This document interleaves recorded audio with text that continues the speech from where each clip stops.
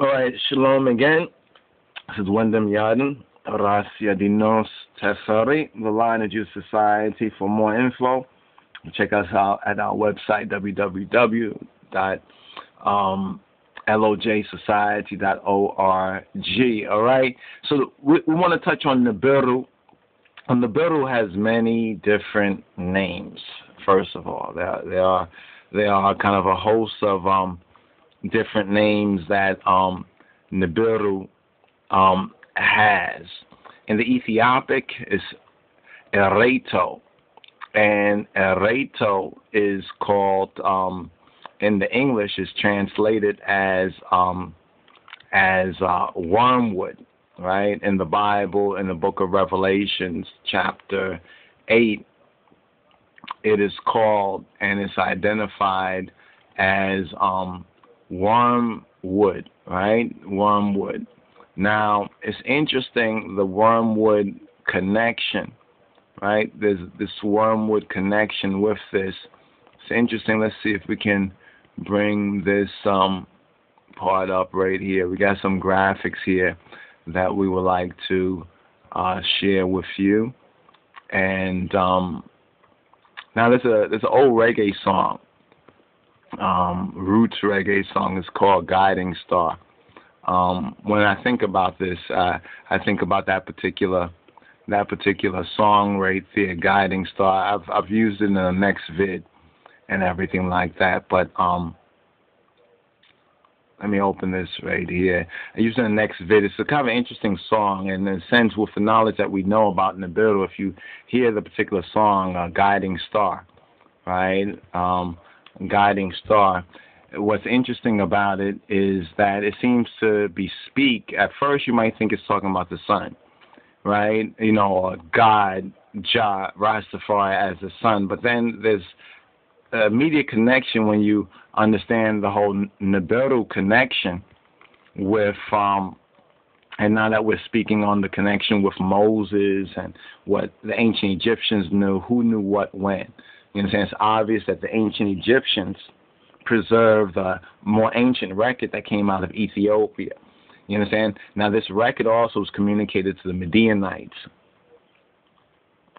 We have that Hebrews in ancient Egypt, which were a particular um, religious denomination.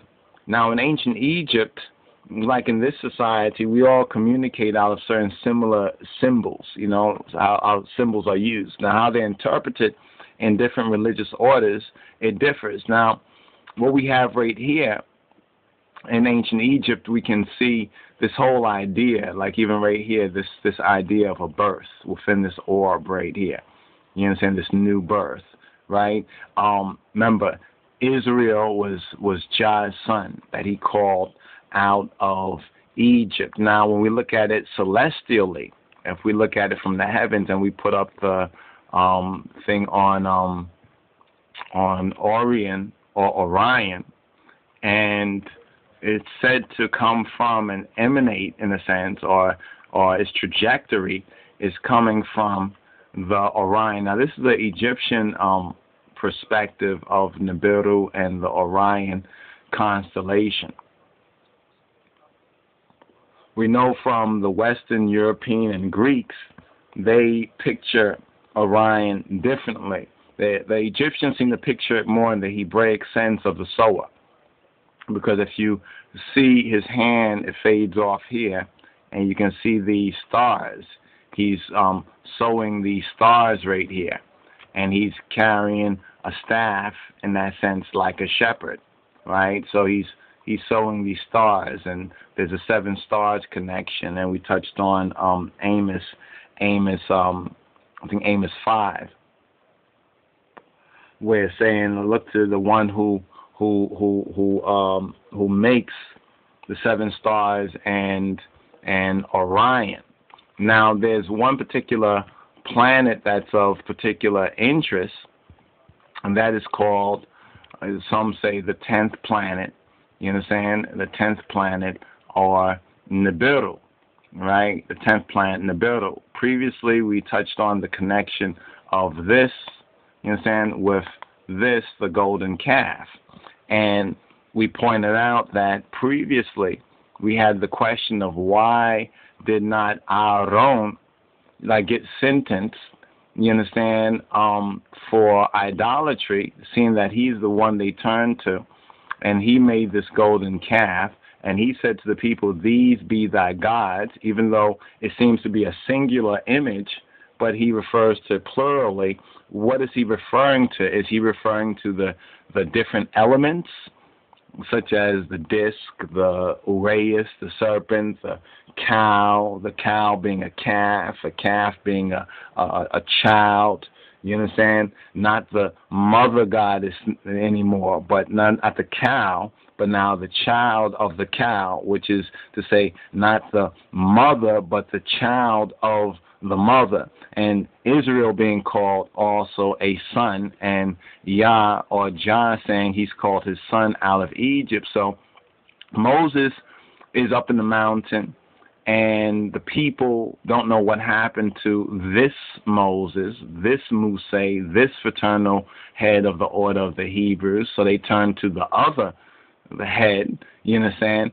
Um, the prophet. Remember, Aaron was the prophet and Moses was to be God, Elohim to Pharaoh.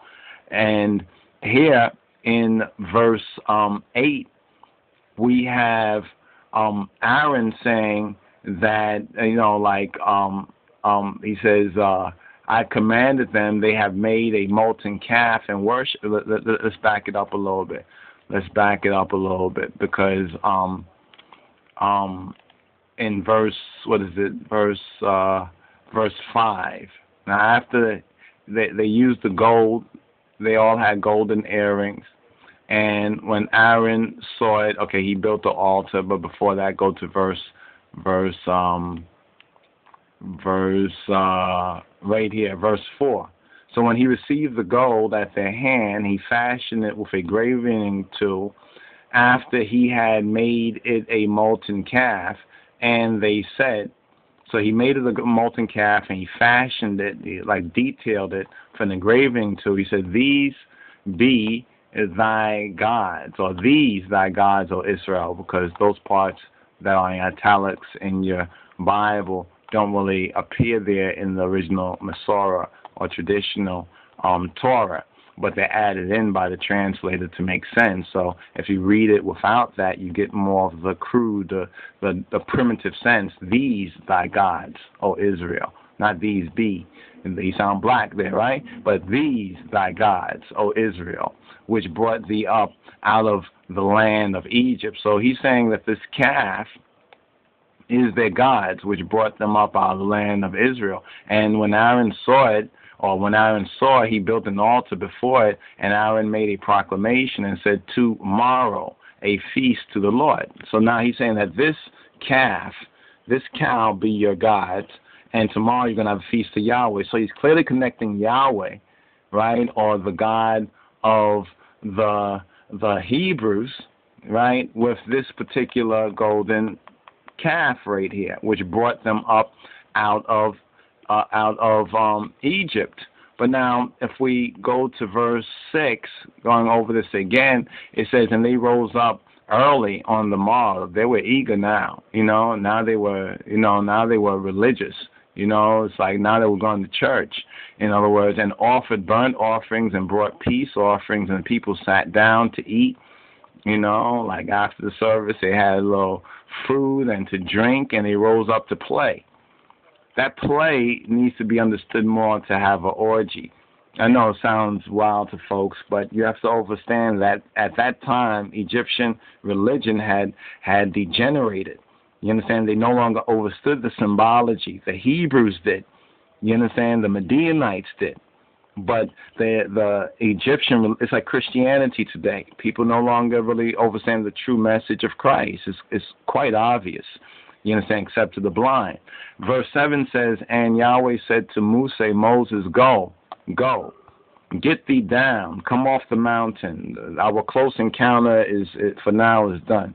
Go down, right? For thy people, which thou broughtest out of the land of Egypt, have corrupted have corrupted themselves. The idea that they've corrupted themselves, they've cheapened themselves, they've devalued uh, themselves. But notice that Yahweh, right? He says to Moses, you understand that it's you that brought them out of the land of Egypt. What did his brother say? His brother said, his brother said, well, this be thy gods which brought thee out of the land of Egypt. And it's, it's, this, it's this cow image. But he said, these be. You understand? These be. In other words, this is the this is the object. You know, this is this is the object symbolized that you are used to. You you cannot experience it. You you don't want to experience anymore. You want to objectify the experience. You want to go from a movement now to inertia. That's how inertia happens. You know what I mean? Look at Christianity. They talk all this kind of talk, but look at the world. You know, so look what the real acts of living like Christ. You understand? They philosophize and so forth and so on. It's easy to talk, but it's hard or difficult, you know, to to do to act on it. It becomes symbolic. I'm a Christian. I'm a Christian. I go to church. Look at me at church. So forth and so on. Look, I got a cross on. Look, I got this on. You know what I mean? Look, I look religious. You saying? But doing it, experiencing it. So the difference between idolatry is just deeper than just the images. But Moses, in the pure legislation, the commandment, the ten words, the Decalogue, you understand, sought to, you understand, make that part of the contract. So the people had already went outside of the covenant. They had gone outside of the contractual agreement by this very act. My question is, did not Haron, Aaron himself? And for a while I was like, why? You know, people begin to think, okay, Moses, Aaron, brothers, he let his brother go. You know, because it's, it's his home, it's his brother. You understand? That would be a logical fallacy. It's logical, but it, it, it's false when you really understand the true the true story. Because if you look right here in verse eight, it says they have turned aside quickly. In other words, how, how long were you gone? Not even a month, maybe a little more than a month. You understand? And already they they have turned aside quickly out of the way. In other words, if you turn out of the way, what have you gone? You've gone astray. They've gone astray. They turn out of the way which I commanded them. Speaking about the commandment, the ten words, the ten articles, right? They have made them, notice it says they, have made them a molten calf and have worshipped it, you know, and have given it great worth. They said, This now explains, you know, you know, now it's like what we're used to. You know what I mean? What it's used to. It's like if you go to a, a church and when you get to the church, they sit down, they're reading and studying, you know, and teaching. Most folks, especially in black churches, you wouldn't know that. That would be strange. You understand? Where's the singing? Where's the hooping? Where's the hollering? Where's the music? So forth and so on. That's not what we're used to. So in a sense, what happened here was that Moses was trying to say, we got to study, we got to learn this and experience it. And the people, after he wasn't there for a while, they said, give us something we're familiar with. So Mo, what Moses did was did like a mega. Ch- I mean, what what what what Aaron did here was like a mega church. This is like your mega church. is like your prosperity religion. You understand? And and and they got it, and they sacrificed there too. And they said, "These thy gods, O Israel, which have brought thee up out of the land of Egypt, which have brought thee up. Remember, Jah says, Moses, you brought them up. And the people and Aaron saying that this is is it. Could it be that in a sense they are both correct? You understand? In other words, one is symbolic, the golden calf, in that sense, as we have here, the golden calf on this level is symbolic of what happened on this level. You understand? What happened on that level. You, you notice the horns, the horns, right? As we look at as we look at face, and we look at the face. They need to see the face of their God. If you understand, they need to see the face of their God. And Yahweh said to Moses, I have seen this people, and behold, look, it a stiff necked people. You understand? A stiff necked people. And who are the stiffest necked people on the face of the whole earth? It's not niggers, blacks, and coloreds. Come on now. Be honest. Now, therefore, let me alone. Leave me alone. Yah said, Leave me alone. that my wrath may wax hot against them, and that I may consume them, and I will make of thee a great nation. In other words, we're made of Moses. Isn't this interesting? So, in a sense, even right here, this Ethiopian Hebrew or Hebrew Ethiopian idea, this Israel Ethiopia idea was in the heart and the mind of the Almighty. How do we know this? Because Moses, a Hebrew, an Israelite, his wife, a Midianite, an Ethiopian. So when we read Amos, right, and we get further in Amos, Amos 9 and 7, and it says, Aren't you like the children of the Ethiopians unto me, O children of Israel? Or we read Joel chapter 3, where it says that the children of Judah, you know what I'm saying, will sell the Gentiles to the children of the Sabians, who are the Ethiopians, and we are the Judahites, so called African Americans. You know what I mean? See that connection there. So here Yahweh is first showing it. He said, Get out of my way, let me consume them, let me dun them. Let me dun these disobedient ones, right? And I will make of thee, of you, Moses, you understand, a great nation. You understand? From one man, from one man's family, I will make a great nation. And Moses here, he besought Yahweh, his God, and said, Yahweh, why dost thy wrath wax hot against thy people, which thou hast brought forth out of the land of Egypt with great power and with a mighty hand. Now, notice this. Now, who brought the children of Israel out? Right?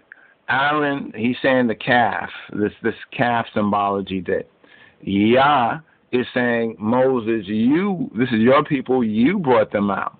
Now Moses besought, or he praying, he's beseeching and praying Yahweh, you understand, not to exercise his ma'at in the Ethiopic or his wrath against your people, which you brought out. So Moses attributed to Jah Jah attributes it to Moses. Aaron attributes it to this particular um, symbology that is your work, uh, Tija Missile. Right? Now, in verse 12, he goes on to say, Wherefore should the Egyptians speak and say? Now, now, wait, hold on for a moment. Aren't the Egyptians back in Egypt? You know, like they're on their way. You understand? They're moving forward. They they've already entered into the wilderness. You, you know what I mean? They already entered into the wilderness, the Badlands. Why in the world is Moses concerned about the Egyptians speaking and saying something? You know what I mean? It must be significant. Even if we don't know why, it must have been significant at the time for him to say this. He says, Wherefore? And knows why should the Egyptians speak and say, For mischief did he bring them out? To slay them in the mountains and to consume them from the face of the earth. You understand? So this is kind of interesting right here. Why he's now speaking about the Egyptians in the third hand, speaking about Jah, or speaking about himself, or one and the same is true. You understand? In other words, the workman and his instrument doing the work is one.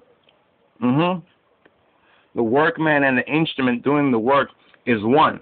So he asks this question. He says, "Turn from thy fierce wrath." So he goes from third person to to um, second person. Turn from thy fierce wrath and repent of this evil against thy people. He's saying these are your people. Yah is saying those are your people. So it's, it's interesting. He says, remember, now he's invoking the triune the triunity or Selassie, the, the triunity of God. You know what I'm saying? Remember Abraham, Yitzhak, and Israel. Notice he don't say Yaakov here. He says Israel here. Thy servants to whom thou swearest, your your baruch, bar yahweh, your bar. Remember, bar is interesting. Bar and the Baal connection. To whom thou swearest by thine own self and said this to them, I will multiply your seed as the stars of heaven. So, uh oh, here we go. He's gonna multiply your seed as what? So, so the the earthly seed is immediately in the theology of the Israelites is being linked to the stars of heaven. The seed, the race, the, the seed. Your race is as the stars of heaven. You understand? As as the stars of heaven. So this too is is is congruous with where they were, both in Egypt and the Egypts, the upper, the lower Egypt. You understand that he came out and going to the upper Egypt, to Tobia, Ethiopia, and then going to the province. You understand? You could almost make call the suburbs uh, on a certain level of the Midian. You understand? And the Midian were another tribe of the ancient Ethiopians connected with the Shabians or the Sabians. You understand? Who were known as as as as stargazers, so-called star worshippers. But basically, they charted the stars. They charted time. You see, all this was about time. It was about calculating time because the stars were very important for farming, for food, for for everything that was important for knowing the seasons, when to prepare for what, so forth and so on. Yovas, it's not so important today to to those of us because we rely or deep end on the weathermen. You know what I'm saying? And they're not telling us everything. But he's saying he will multiply your seed as the stars of of heaven, and all this land that I have spoken of will I give to your seed, and they shall inherit it. Right? They shall inherit it forever. And Yahweh repented of the evil which he thought to do to his people. Interesting. He repented of the evil. Now, does this make Jah evil? No, Jah is just. But he he basically forestalled in a sense, you know, the ultimate punishment for their action. He had mercy on a certain level because of what Moses said. Mercy triumphed above judgment. He sentenced them, he gave the judgment, and then like the advocate went before the judge and, and you know made an appeal, and the judge it was in the judge's authority and right to relent of that. You understand? Um, and Moses turned and went down from the mount. But Moses had to work this out, you know, in his close encounter. He had to work this out before he came down. And the two tables of testimony, these are two stone tablets which have hieroglyphic, had hieroglyphic engraving. You understand when we say hieroglyphic written in stone engraving? The two tables of testimony were in his hand. The tables written on both their sides. This is interesting because usually we get this idea that they're written on one side. Here it said that they were written on front and back. On the one side and on the other were they written. And it's interesting when we look at Revelation chapter 5. You know, Revelation chapter 5, and we, we, we, we're speaking about the, the, the book, right? We're speaking about the book of the seven seals. You understand? And this is the seal of that particular book the open book there, the cross, similar to Lalibela cross, the elliptical orbit of Nibiru, and perhaps the companion star, you understand, the dead star, because what one ones don't really recognize is that, you know, how the two move. You understand? You know, with the the mag the magnetic gravitational um um pull of it. Man understands it a little bit and has developed engines that work on that same um, physics, so to speak. But moving forward with this, and the tables were the work of God. Now, the tables were the work of Elohim. You understand? They weren't the work of man. This wasn't the work of man. This is the work of God. Like, and the writing was the writing of God. So this writing was the writing of God. It doesn't say what language it was written, but it's the writing of God. Both God wrote on this, the Elohim wrote on this. You understand? And they were graven. You understand? They were they were graven. You understand? Not images, but they were graven upon tables, upon stone tablets, similar to when we look at hieroglyphic um, writing or engraving. And when Joshua heard the noise of the people as they shouted, he said to Moses, a noise of war in the camp, or there is a noise of war in the camp. And he, uh, no doubt, Muse, Moshe said, it is or not the voice of shout for mastery, neither the voice of cry for being overcome. If you add in the italicized what King James added in, it would read, and he said, It is not the voice of them that shout for mastery, neither is it the voice of them that cry for being overcome, but the noise of them that sing do I hear. There's a very important key about this. Sing. Make a note of sing. Because we have to touch on the word sing. All right? Because when we say mezmor, mezmor is not singing like one's called singing. Mezmor is chanting. Most best comparison would be like Orthodox or the Tawahido, uh, Beta Christian sort of chanting. You understand? It's it's it's not no musical instrument. The only instrument that's really mentioned is the kaburo, is the drum. And when we look at um, um, Christian or uh, so-called church music and religious music today, from a biblical perspective, it is an abomination. You understand? If you say this is this is the kedase, this is the holy music, you can sing, you can sing whatever kind of songs, but here in connection with holy worship, they were singing. You understand? Not chanting. That's the key right here. They were singing, not chanting, and no doubt with um with the instruments of Tubal Cain, of Tubal Cain. Now here it says, and it came to pass as soon as he came nigh to the camp, that he saw the calf and the dancing. They were getting down. They're having a party, right? And Musa's anger waxed hot. Remember, Moses begged Yah, don't let your anger wax hot. When Moses saw what's going on, and he got to somehow understand what Yah had saw, what Yah saw, and his anger waxed hot, and he cast the tables out of his hand and break them beneath the mountain. Wow. He broke the law, in a sense. You know, he broke the tables of the law. Some say sympathetic magic because they broke it, he broke it. You understand? Y'all couldn't have patience. Y'all ain't going to get this. And he took the calf which they had made and burnt it in the fire and ground to powder and strawed upon the water and made the children of Israel drink of it. So he basically ground down. You understand? He he ground down. You understand? This calf, right? And he made them eat it, basically. He made them eat it. You know, you know, he made them eat their gods. You understand? And Moses said to Aaron, What did this people to thee? In other words, what did this people do to you? You understand? What did this people do to you? That thou hast brought so great a sin upon them this is interesting. Does Aaron have some sort of exemption?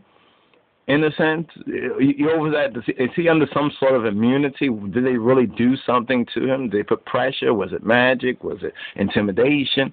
But Moses asked this, and notice the context that you, Aaron, has brought so great a sin. You brought a great sin upon the people. Now, when you look up golden calf and Aaron in the Bible, it's interesting. After this incident of Aaron and calf, the only other associations of Aaron and calf are in Leviticus um, 9 and 2, where it says, And he said to Aaron, Take thee a young calf for a sin offering and a ram for a burnt offering without blemish, and offer them before the Lord. Then in verse 8 it says, Aaron went to the altar and slew the calf of the sin offering, then it says which for himself or which was for himself.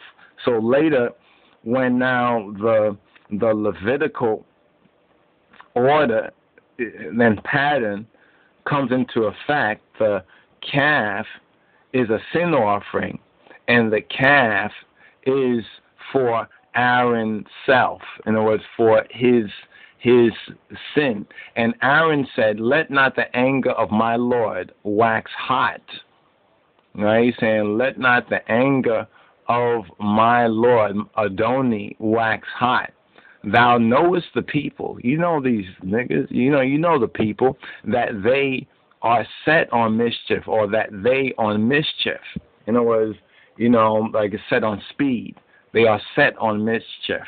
You know, they they are set on on doing mischief. For they said to me, Make us gods, make us Elohim, which shall go before us. For as for this Moses, the man that brought us up out of the land of Egypt, we wot not what has become of him.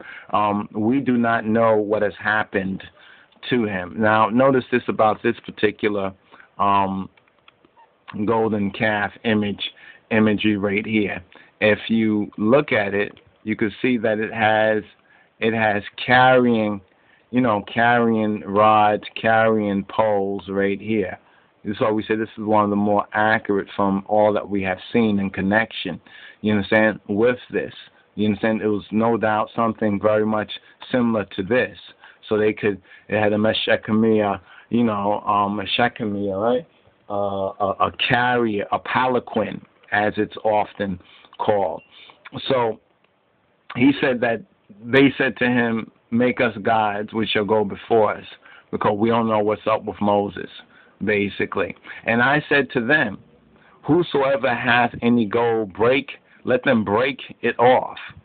So they gave it me, and I cast it into the fire, and there came out this calf. Now, that's not exactly how it's explained before. You understand? But this is almost like a court, like like this is a this is like a adjudication in a sense, you know, for Aaron. He's saying he just threw it in there and boom, it like came out.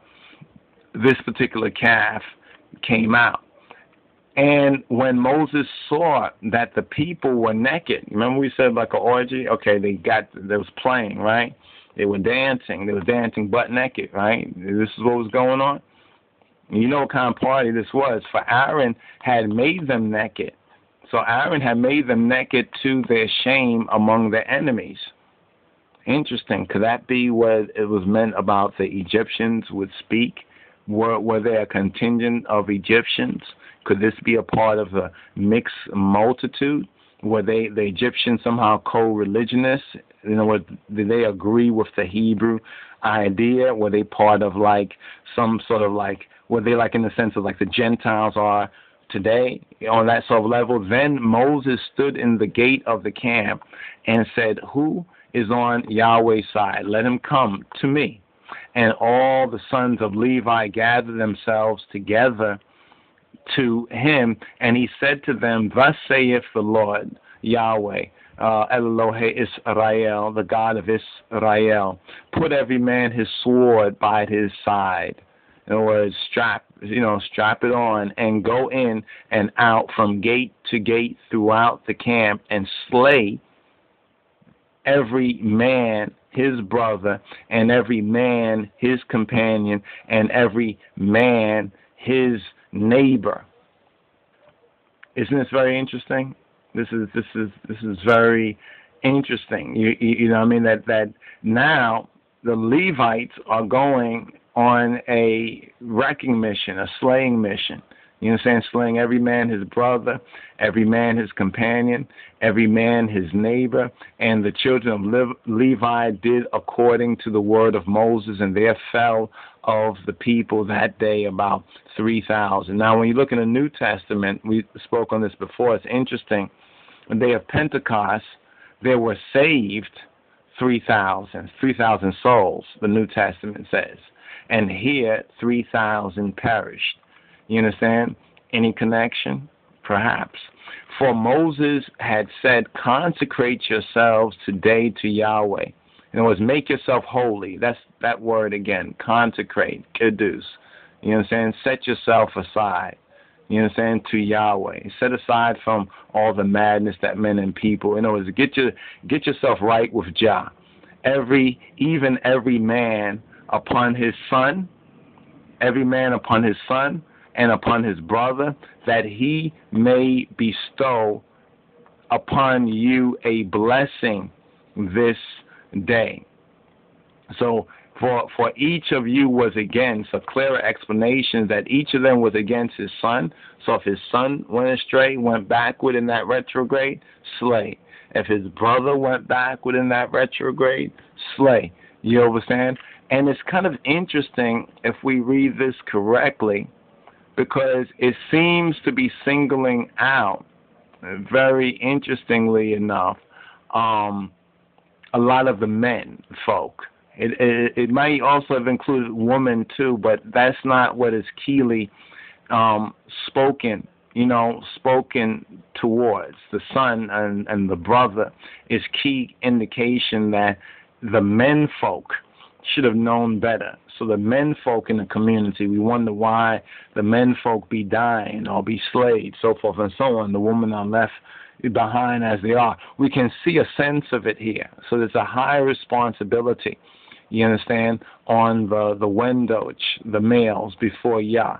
You know, to whom um, much is given, um, of the same much is required. And it came to pass on the morrow that Musa, Moses said to the people, Ye, you all, have sinned a great sin, a great hatiyat, a great, you've gotten some really bad karma this day. And now I will go up to Yahweh, peradventure, perhaps, peradventure, let us say perhaps, I shall make an, what is that word? An atonement for your sin. I can find some way that you can come back into harmony. You understand with Yahweh. You can come back in law, since y'all are outlaws. You know what I'm saying? You are considered outlaws. And Musa returned to Yahweh and said, Oh, this people have sinned a great sin and have made them gods of gold. Made them gods of gold. Sounds familiar? when we talk about the golden calf and the bling bling generation, the end time bling bling generation. Yet now, if thou wilt forgive their sin, if you will forgive their their doing, their bad doing, and if not, blot me. So Moses now he, he's like going to court. He's he's arguing on our behalf. And he's arguing even at the stake of his own person. This is why for the Hebrews and and and for the the Jews, the true Jews. You understand? Both the racial ones and the converted ones. Moses has such we have such a high regard for Moses. Because Moses is saying, Listen, forgive them. And if not, then blot me out. You know, like like take me out. You know, get rid of me, I pray you. Out of thy book. Remember the connection? We talked about Revelation five five out of the book. You understand? Obviously must be the book, the book of life you understand? Which thou hast written. So Moses knows that Yahweh has a book written and it has names in there. You understand? Later we will get this idea of the book of life. Now, Moses says, Blot me out. If you can't forgive them, then take me out. And Yahweh said to Moses, Whosoever hath sinned against me. You see, that's where the crime is done. Like I said, black man, Negroes, blacks, and colored, Smith, Jones, and Johnson. We don't have a white man problem, an economic problem, a financial problem, or a woman problem, not even not even a baby mama drama problem. We have a, a God problem, basically. So Jah says, Whoever whosoever have sinned against me, him will I what? Blot out of my book. You understand? That person will he wipe out out of the book. You understand? Therefore now go you understand? Lead the people to the place of which I have spoken to thee. Behold, mine angel, notice what it says, mine angel, we touched on the angel in the last part, mine angel shall go before thee. Nevertheless, in the day when I visit, this idea of visitation, I will visit their sin, their wrongdoing upon them very very interesting. And the day that he he he visits he's going to visit their sin their abasa you understand upon them. And yahweh plagued the people right? And yahweh plagued the people because they made the calf which aaron made. It, it, it's, it's kind of interesting right? You notice the language here It's almost and, and not a double speak, but in a sense a double speak. Who made the calf? Yahweh plagued the people because they made the calf, which Aaron made. You understand? Or would the idea be that um, here's the other um, version of it, and the Lord sent a plague on the people because they had made the calf, the one cat, the one Aaron made, which is more or less the same idea. Now, what's the connectivity to this? Well, we have a couple more minutes in this presentation. What's the connectivity of this right here? Let's let's touch on uh, um, get this lined up. All right, um, we're going to touch on the face. let's conclude this on the face because it'll give us an opportunity to discuss, you know, to discuss these these these these um horns and and and the the frontal image right? The frontal the frontal image or the face as it were. The face of um the face right here all right? Now we've we, we spoke on this that this is not a naturally occurring thing in nature. I mean i mean where would they get the idea to put an or between two horns and to paint it red. You know, what within nature? Not too much in nature. The cow is the natural part of it, but this orb right here is um not really so much the natural part is a I mean it's not on the earth level, it's a heavenly thing. So but where would they get this sort of idea except from viewing viewing this particular heavenly sign from the front or the face. So the face, the panim, which is very important, the face of God. The face of God is the front part, right, of a person's head. Or the front of anything, such as a clock, right? A clock face. They didn't have clocks back then that we were told, but where would they get this image? The Egyptian, ancient Egyptian Kamite um, divinity Khitharu or Hathor was a rare Egyptian character. Why? Because she was depicted often full face. You understand? She was depicted from the front, full face.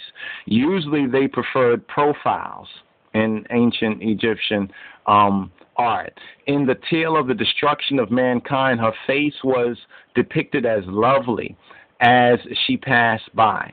The Egyptian word um, um, her or her or hor means face.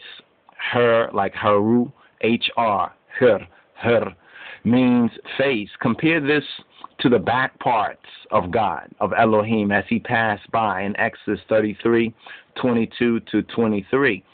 No one was permitted to see Jah's face, although Moses had just spoken to God, according to the book of Moses, his writing face to face. He had a close encounter. You understand? Is this speaking of different aspects of that which, from a holistic Hebrew theology, was all of God? You understand? In other words, so people are, are, are too much anthropomorphizing it and not recognizing that these signs – were viewed as manifestations of God and thus God. You understand? Not the God, but are his tools, his signs, his manifestation pointing to him. Now, the Bible, it notes that Moses' face was horned, it was shiny, and it was veiled. And specifically in the Bible, it says Moses' face was horned. All of these descriptions can be interpreted a, a few different ways. Now, the horn description may mean that something happened to his skin. It was injured some way or became like a horny toad in a sense. This was ugly and may explain why he veiled it if you if you think so. You know, shapeshifter, transformation. But what about the shiny descriptive? That may mean that he glowed as simply as holy or kedus set apart as he gave off a visible aura, such as the halo of, of, of, of the saints. However, the horns may also mean that he wore a horned hat, or perhaps from Egypt in the mysteries, he was of that order. And the horns, they also symbolize how this comet, this planet Nibiru, Elenin, Planet X, or Ereto, Augusta, how it looked which was similar to a Hit Haru or Hathor's headpiece, similar to this sort of headpiece that we have um, right there. Now, but the veiling, what about the veiling of Moses' face? Is this the writer's clue that the real identity of Moses was somehow hidden? Moses in the Bible, in the Hebrew Bible, he did not reveal why, or he, he did not reveal really that he was a king of Egypt, some say. Some say um, Sesostris the third right? The biblical author, in a cryptic way, he called, called Moses humble. Ethiopically, that word humble is tahut. Two men in the Bible are especially called tahut in the Ethiopic, which connects with tut. One is Moses, and the other is our Lord and Savior, Yeshua HaMoshiach, or Jesus Christ. So the biblical author uses this word humble. Either Moses himself or an editor who may have known his true identity may have deleted it to Hoot, Muse, or disconnected it. But he left this clue, this key word that must be deciphered Ethiopically humble. The reason may be that the Exodus Hebrews, Hebrews, forming a new country, wanted to distance themselves from the old or the outcast form of worship that they participated as nationalized Egyptians. But they wanted to keep Moses. Muse was their their Heru, Heru, their hero. How could he be a Hebrew Heru if he was an Egyptian or perhaps Ethiopian king? The next part we'll touch on is veiled. So stay tuned, brothers and sisters. More to come, Yah willing. Shalom Rastafari.